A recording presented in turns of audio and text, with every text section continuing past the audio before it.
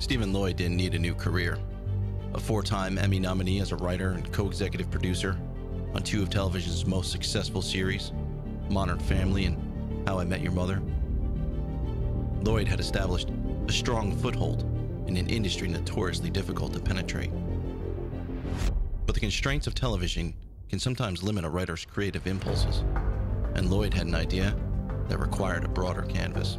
That idea became his debut novel, Friend of the Devil, a noirish horror story that combines the gleeful gore of 80s slasher pics with the teen angst of a John Hughes film, stirs in the classic sensibilities of Poe and Stoker, and adds a dose of Raymond Chandler for good measure.